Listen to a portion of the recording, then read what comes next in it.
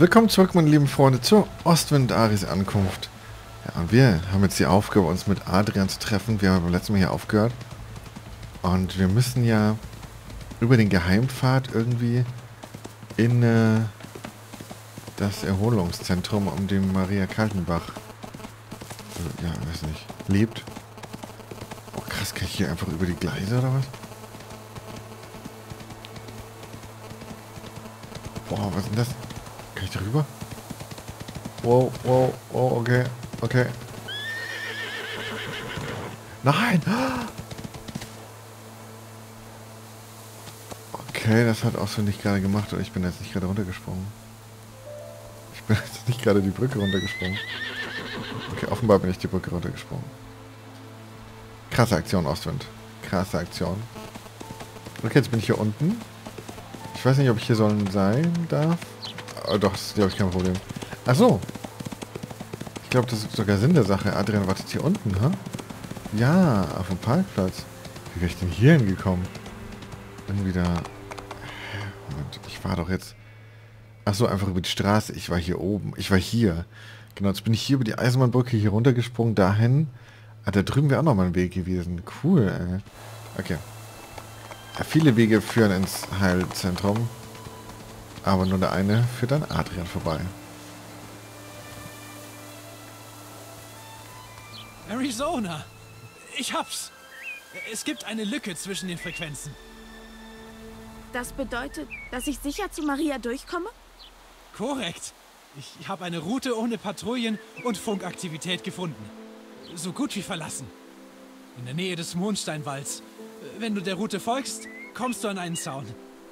Ab da musst du einfach nur weiter, bis du beim Kurzentrum bist. Danke, Adrian. Das weiß ich wirklich sehr zu schätzen. Ich, ja. Äh, Pass auf dich auf, Arizona. Das mache ich. Danke.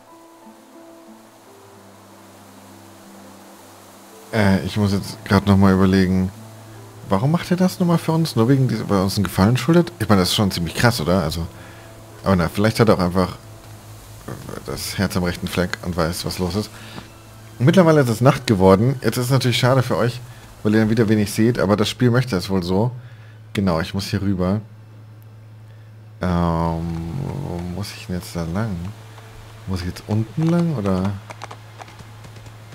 da, wo ich jetzt hergekommen bin? Oder muss ich oben lang? Ne, unten ist ja Quatsch, oder? Warte mal. Wobei doch. Doch, das würde Sinn machen. Dann gehe ich unten lang, da wo ich gerade runtergesprungen bin. Hier. Gucken wir mal, ob wir dann einen Weg finden. Dass wir dann hier unten durch und dann auf die andere Seite. Ja, weil ähm, das Spiel, das vorsieht, dass es Nacht ist, ist natürlich ein bisschen sneakiger. Also das ist mehr so ein bisschen in geheimer Mission quasi. Ne? Das ist natürlich schon cool. Und äh, hier vorne muss dann der Zaun sein. Hier ist der Weg, genau. Hier Da endet der, der Weg. Zaun. Der führt uns auf die Route. Jawollo. Okay. Oh, und ich darf Ostwind tatsächlich mitnehmen. Ah, das bringt mich hier ans Ende der Karte. Nee, hier hoch. Einfach auf die andere Seite der Brücke. Dann hätte ich ja auch... Ah, nee. Genau, da geht's ja nicht weiter oben. Da bin ich ja nicht durchgekommen. Schnell, Ostwind, schnell.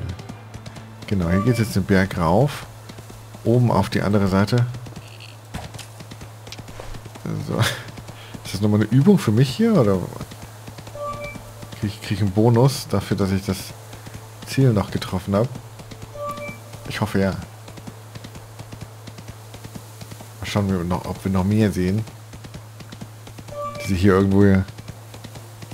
Ich weiß nicht, ob das versteckt oder nicht. Also, ob das Absicht war. Ich denke mal schon. Aus, äh, aus Versehen macht man ja sowas nicht. So, und jetzt? Jetzt sind wir bei der Eisenbahn. Balanciere zwischen den Schienen. Ah. Aber wieso denn das jetzt? Ah, ich muss auf die andere Seite. eine Odyssee. Ah, ist doch voll Immerhin cool. ist die Aussicht schön. Ja. Ah, genau, ich muss dann da nach rechts. Ah, okay, okay, okay. Ja, Moment. Uiuiui, geht ja ganz schön steil runter. Ich war doch vorhin... Ich bin doch vorhin hier abgestürzt. Da bin ich doch da runtergestürzt, oder? Ja. Jetzt gehe ich hier wieder in die andere Richtung. Hä? Da, was? Hier war ich doch schon überall. Und da ist der Mondsteinsteinbruch, genau. Und hier? Moment, was? Wo muss ich denn hin? Wo ist denn, habe ich denn Ziel auf der Karte? Nee, ne?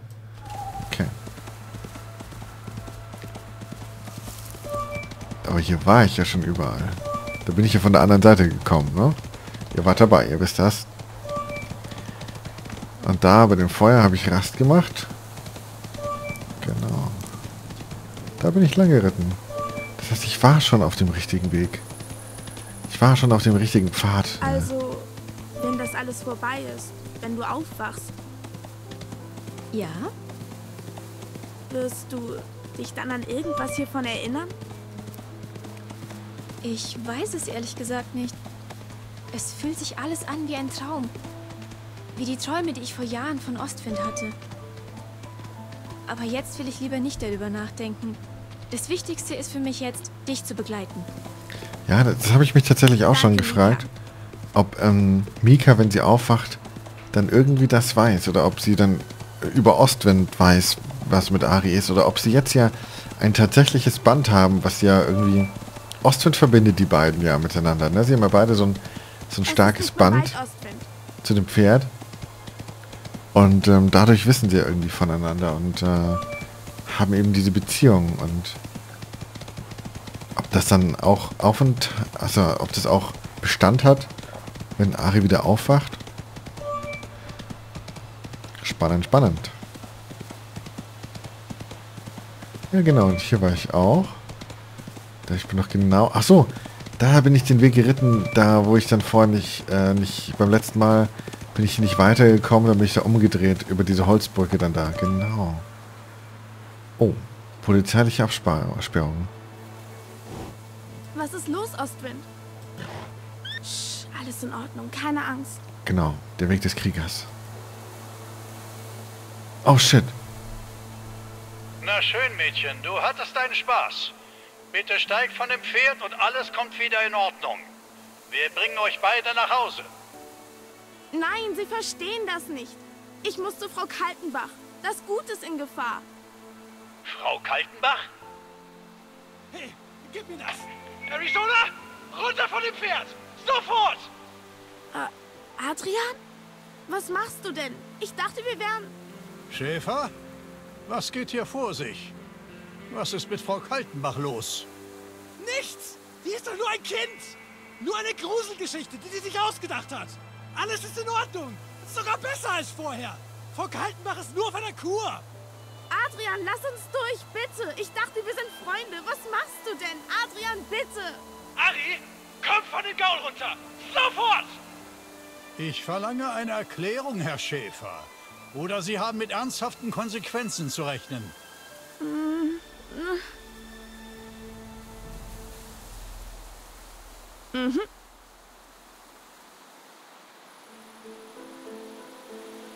Ja. Okay. Okay. Okay. Also der ältere Polizist ist offenbar auf unserer Seite. Und Adrian ist offenbar voll das Arschloch. Sorry, wenn ich das so gesagt habe, aber ja. Wir machen das so. Was macht sie da? Und der Kiesel, der scheint für mich sehr vernünftig zu sein. Warum haben wir nicht mit dem geredet? Wir hätten ja mit dem reden können.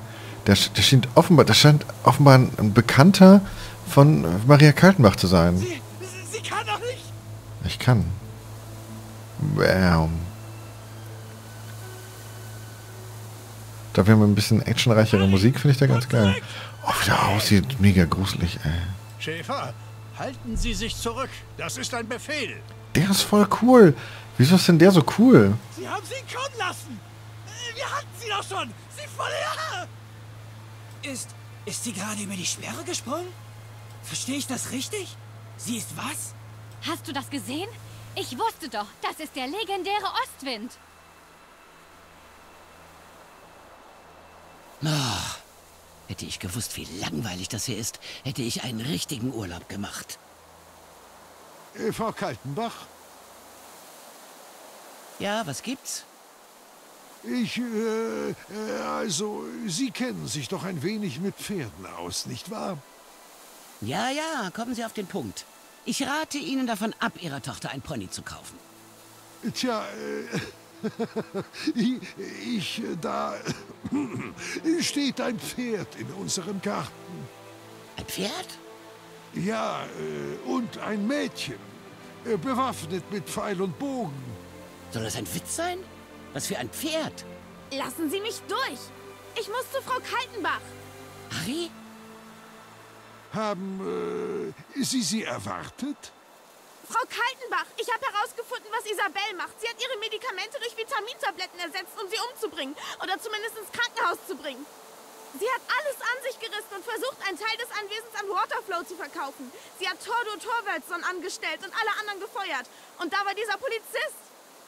Der hat mich in eine Falle gelockt und Sam und ich sind ins Gestüt eingebrochen, um ihre Pläne zu stehlen und herauszufinden, was los ist. Also das klingt jetzt schlimmer, als es ist, aber da haben wir ihre Tabletten gefunden. Hier sind sie. Ari, Ari, bitte, beruhige dich doch. Ich will nicht schon wieder einen Herzinfarkt kriegen. Du scheinst mir sehr viel zu sagen zu haben. Beruhige dich. Mir zuliebe. Besprechen wir das bei einer Tasse Tee. Dann kannst du mir alles erzählen. Die Geschichte würde ich auch gern hören. Es ist alles in Ordnung. Keine Sorge. Helmut! Ich dachte, du genießt schon deine Pension. Was machst du denn hier? Das Übliche. Ich habe sie durchs ganze Land verfolgt und versucht, eine große Verschwörung gegen Maria Kaltenbach aufzudecken. Wo ist Adrian? Auf der Polizeiwache. Wir kümmern uns um den Papierkram und seine Suspension. Also, Ari, fang doch einmal vorne an. Ach, und Sie? Ja, ja, meine Dame. Bringen Sie uns doch einen Tee, wenn Sie so freundlich wären.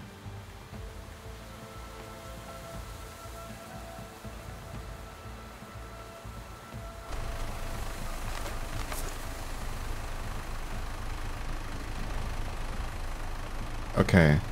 Okay, Leute. Und wir sind jetzt auf einmal wieder... Was ist denn jetzt passiert? Die Geschäftsleitung Gut Kaltenbach und wir sind jetzt wieder auf dem Gut Kaltenbach. Und wir haben offenbar Maria Kaltenbach alles erzählt, was es so zu erzählen gab. Und jetzt?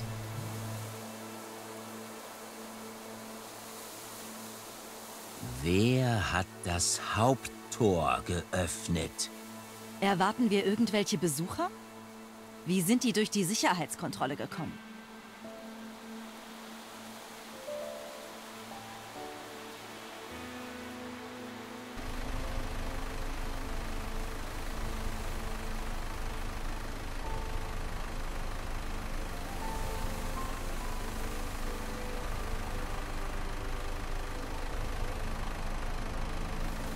Es ist die Polizei.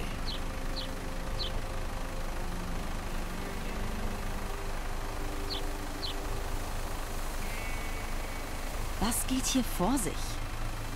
Sie haben einen Pferdeanhänger dabei.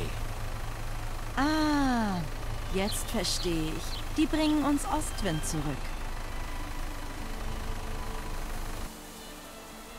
Irgendwas stimmt hier nicht. Guten Abend, meine Herren. Wie ich sehe, bringen Sie mir mein Eigentum zurück. Haben Sie auch diese fürchterliche Göre gefunden? Hallo, Isabel. Oh, Frau Kaltenbach. Schon so früh wieder zurück? Sind Sie denn schon gesund genug, um zurückzukommen? Wenn ich die richtige Medizin bekomme, ist es, als hätte ich nie irgendwelche Probleme gehabt. Äh, ich verstehe nicht. Dachtest du, du könntest damit durchkommen? Mit dieser ganzen Sache? Dem Gestüt ein neues Image verpassen? Ein Teil des Lands verkaufen? Zusammen mit Tordo diese Scheußlichkeiten anzustellen? Wir wissen alles, Isabel. Und das Schlimmste ist, dass du meine Medikamente mit Vitamintabletten vertauscht hast. Ich sage dir mal was, junges Fräulein. Für einen Dinosaurier wie mich braucht es schon einen Asteroiden, um mich aus dem Weg zu räumen. Frau Herburg, ich nehme Sie fest wegen Verdachts auf... Verdacht? Verdacht auf was? Haben Sie irgendwelche Beweise, um diese haltlose Anschuldigung zu bekräftigen? Wenn Sie mich ausreden lassen, Frau Heerburg. Tatsächlich haben wir Beweise. Nein! Nein, das kann nicht sein! Sie machen einen riesengroßen Fehler.